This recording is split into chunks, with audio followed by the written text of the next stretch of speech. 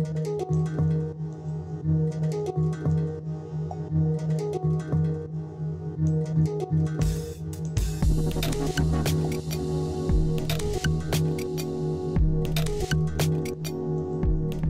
goedemiddag. Um, Middag.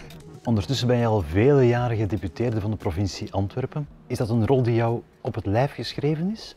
Ja, het is al twaalf jaar en de tijd uh, vliegt enorm snel natuurlijk. Hè. En ja, het is wel een uh, mandaat dat ik uh, enorm graag doe, een beleid dat mij enorm aanspreekt.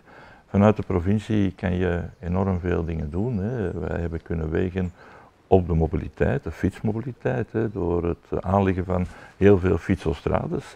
Wij hebben op uh, die manier denk ik toch wel enkele mensen uit de wagen gehaald en gezien dat de files wat kunnen verminderen. Maar ik denk ook dat we daar echt de basis hebben gelegd voor een heel grote fietsmobiliteit. En als je ziet dat wij nu ten opzichte van 2015, de nulmeting die we hebben gedaan, dat wij allee, verdubbeld zijn, denk verviervoudigd van het aantal fietsers in onze provincie. Ja, dat is geweldig, 30 miljoen fietsers per jaar. Dat is uh, echt een, uh, dat is van betekenis. Ja, we zien jou ook regelmatig met de fiets rondrijden. Hè? Je bent zelf ook een fervent fietser. Hè? Ja, inderdaad. Ik tracht uh, in de stad zoveel als mogelijk met de fiets rond te rijden. Dat is ook aangenaam. En ik zeg altijd, als je met de fiets rijdt, dan kan je je kopje wel leegmaken. Natuurlijk, je kent de stad, want je bent geboren en getogen in Wilrijk. Wat betekent Wilrijk voor jou?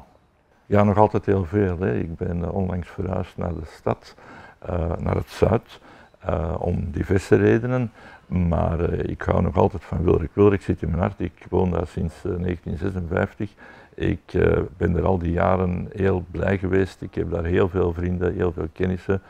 ik heb de partijafdeling daar uitgebouwd. En ja, ik ben nog altijd heel fier dat ik zoveel heb kunnen doen voor dat mooie district. Welk moment in, in zou je nooit willen missen? Ja, voor elke rechtgeaarde Wilrijkenaar is dat natuurlijk de jaarmarkt 1 augustus.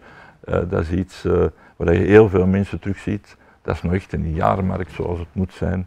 Met dieren, eh, met een kermis, met een jaarmarkt in de voormiddag, met een wielerkoers. Ja, alles erop en eraan. En, uh, ja, en vuurwerk s'avonds, ook heel belangrijk. Ja, want Wilrijk ja, is al ja, de hele tijd een, een district, een district onder de stad Antwerpen.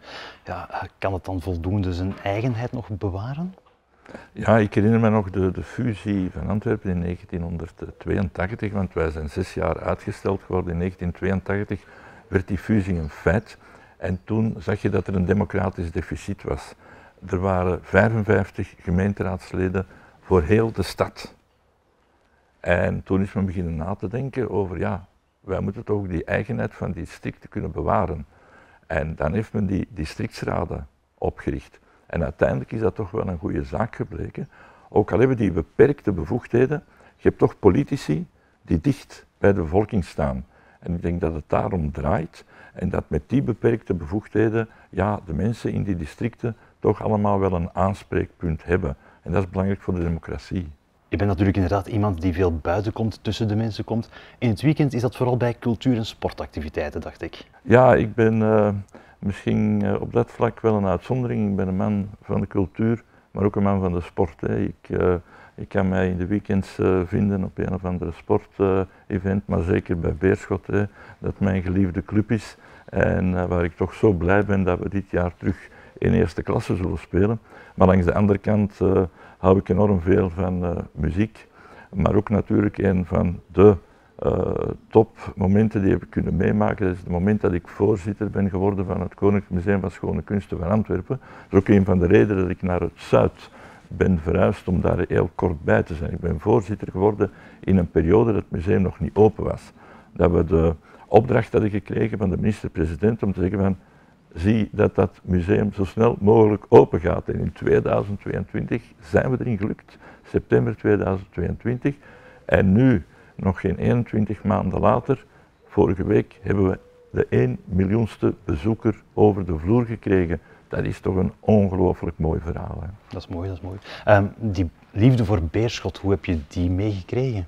Wel, ik uh, speelde zelf voetbal bij uh, Olympia Wilrijk. Hè, en, uh, kleine club in provinciale afdeling. En wij spraken dan af uh, met onze ploeg om dan toch hè, naar eerste klasse te gaan zien, naar Beerschot. We reden toen met onze fiets uh, naar het Olympisch Stadion om daar de wedstrijden bij te wonen. En dat is altijd zo gebleven. En dat is een microbe die je niet uh, loslaat. Hè. Eens dat je de Beerschot-microbe hebt, ja, dat is voor altijd. Welke indruk heeft deze regio Ruppelstreek Aartselaar Wilrijk jou? Ja, dat is een mooie regio. Uh, hier zit je met het steenbakkersverleden dat nog uh, overal uh, te zien is. maar je hebt hier natuurlijk ook een aantal mooie domeinen. Hè. En ik ben ook blij dat we met de provincie en van die mooie domeinen ook hebben hè, de schorren. Mm -hmm. En de schorren betekent ook iets voor de ganse streek. Maar ook in de ganse Zuidrand hebben we nog ongelooflijk veel open ruimte. En dat is open ruimte die we moeten koesteren. En ook vanuit de provincie werken we daar enorm sterk aan. En wij trachten die open ruimtegebieden met elkaar te verbinden. We proberen ook toeristisch dingen te doen. Door trage wegen, door fietsverbindingen te creëren in deze regio. En dat maakt deze regio ook zo mooi. Hè? De open ruimte die er nog is, de verbindingen die we leggen, de vele domeinen die er zijn en natuurlijk vanuit de schorren ja, de meerwaarde die we kunnen creëren voor die ganse regio. En dat is natuurlijk, dan moeten we zeggen, het festival hè, van Tomorrowland, die een enorme economische relance teweeg brengt in deze regio, wat zeker niet te onderschatten is. Ja, die regio Ruppelstreek, Aartsar Wilrijk, je bent er al hè, vaak geweest op heel veel plekjes. Is er zo'n fijn, bijzonder plekje dat je hebt ontdekt de voorbije jaren? Wel, ontdekking, dat was onlangs uh, de verschillende tunneltjes die er hier in de streek nog zijn. En die we allemaal te danken hebben natuurlijk aan, aan die uh, ja, steenbakkers. Steenbakkers, uh, dat steenbakkersverleden. Uh, die mensen waren natuurlijk niet dom. Hè. Men moest over de baan, maar die dachten dat is te onveilig. Dus we maken tunneltjes onder de baan om inderdaad dus die klei en om, om al die baksteen te kunnen vervoeren. En met de provincie hebben we nu ook, zijn we nu ook gestart om die terug te restaureren. En op die manier kunnen we ook weer mooie verbindingen maken en wordt het voor de wandelaars ook weer zeer aangenaam op bepaalde plekken te komen waar ze anders nooit konden komen. En dat is erfgoed dat we inderdaad moeten koesteren en dat we moeten beschermen naar de toekomst toe. Hoe ziet de zomer eruit van de eerste gedeputeerde? Wel, uh, we gaan het zeker uh, in, in juli en uh, begin augustus nog wat rustig doen. Maar natuurlijk, de verkiezingen komen er al terug aan. We hebben ze net achter de rug. Uh, maar de gemeente- en provincieraadsverkiezingen ja, zullen natuurlijk niet weg zijn uit de agenda. Voorbereidingen, maar af en toe toch wel wat uh, rusten, wat lezen, wat wandelen, wat fietsen.